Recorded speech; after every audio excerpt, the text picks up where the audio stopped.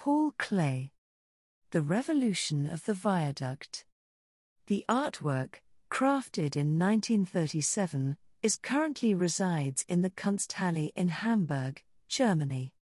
It stands out as one of the artist's renowned pieces, showcasing his political beliefs.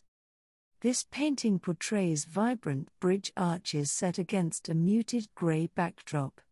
The arches, adorned with lively hues of yellow, red, orange, and pink, outlined in black, create a dynamic composition that appears to advance towards the observer. Diverse in shape and color, these arches appear disorganized and detached from their common base, resembling autonomous human legs in motion across the canvas. According to the artist, the intention behind this piece was to depict a revolution. The arches symbolize a rebellion against the uniformity of the bridge, serving as a metaphor for the fight against totalitarian regimes, particularly fascism, prevalent during that era. The political context of 1937 is crucial in understanding the deeper meaning of the artwork. The rise of fascism in Europe, especially in Germany, likely influenced the artist's perspective.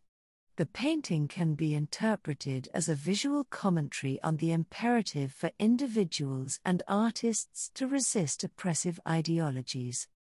One intriguing aspect is the metaphorical connection between the rebellious arches and artists breaking free from ideological and artistic constraints.